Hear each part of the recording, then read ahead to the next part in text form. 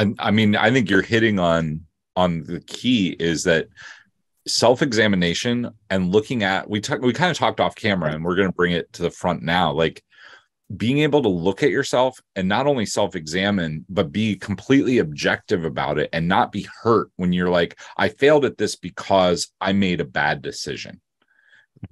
That's like the i mean that's the key to winning in poker but it's also the key to winning in life. It's like how do you get better you yeah. look at something and go ahead. Yeah and not and not uh and not beating yourself up too i think it's like because there's life or any or any any endeavor at all is so complex and has so many factors. And i think we we can have a tendency to to beat ourselves up about you know we failed at, that, at this specific thing or we're not good at this specific thing. So for example me like you know i it, it would be easy for me to build a narrative around like my social anxiety and my anxieties in general and be like well i'm not going to be successful because of these these things I face, these obstacles. The fact, you know, it's it's easy for me to feel like a failure in in that regard, you know, and that's that's kind of like what I struggled with when I was young. You know, it's like those became the defining aspects of myself. But it's like we're all more than any specific you know area that we can focus on it's like i'm more than my social anxiety that i have or i'm more than the fact that i'm bad at math for example there's all these examples we can uh, pick. Not to say I'm bad at math. That was somebody else's example, but you get what I'm saying.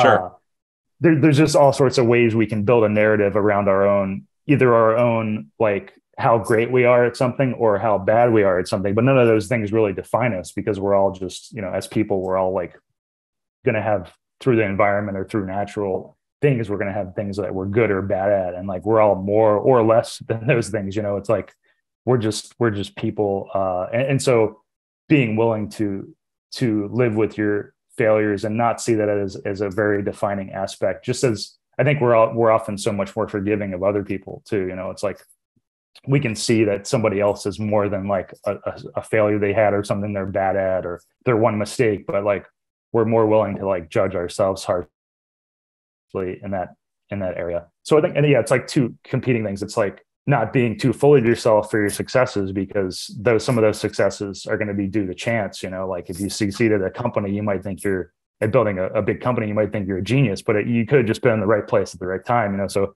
examining that success and being like well you know am i question whether you're really always making the right decisions? And then on the other end it's like not beating yourself up for your failures. So it's like somewhere in the middle is like the is trying to see things objectively and not get too tied to either the losses or the wins you know?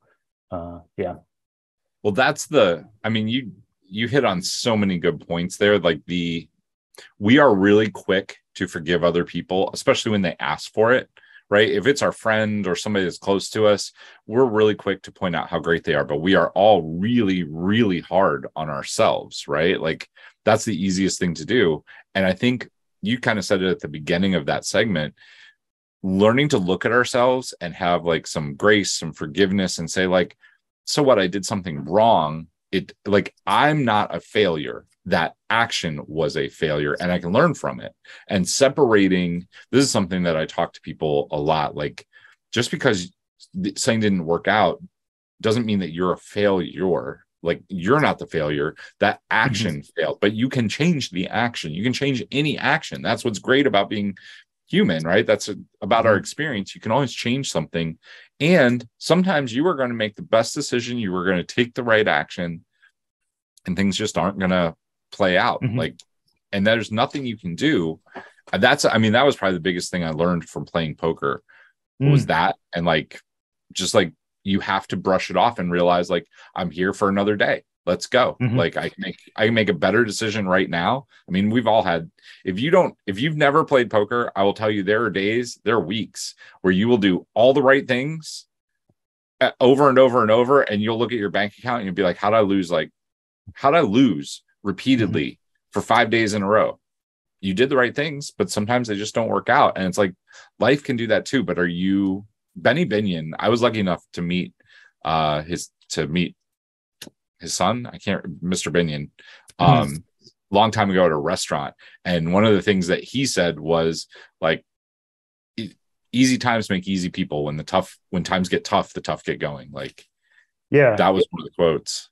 I think that's uh I mean that that it, so many people say that about poker, you know, because it is it is almost like a fast forward like uh it's almost like living life in a in a you know, getting getting more life experience in a shorter time span because it's like the amount of like failures and successes you have in poker like these big hand spots that come up so often you know bit significant spots and the fact you have to deal with these things it's almost like you know starting a bunch of businesses and failing or succeeding at them in a, in a small form you know in a, in, in a smaller yeah. form obviously but it, it's like you're getting the same lessons it's like you're you're you're seeing how that your actions no matter how good they are aren't necessarily tied to your results at least in the short term. You know it's tied to your results in the long term.